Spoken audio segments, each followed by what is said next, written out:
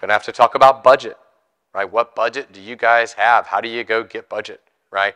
Legal department's gonna help you there, right? Once the legal department understands that these things are coming, those guys are paid to not take risk.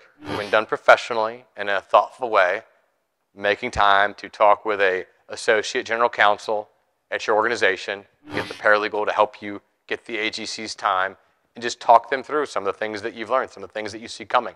Make sure they're looking at these specific IT HIM hurdles.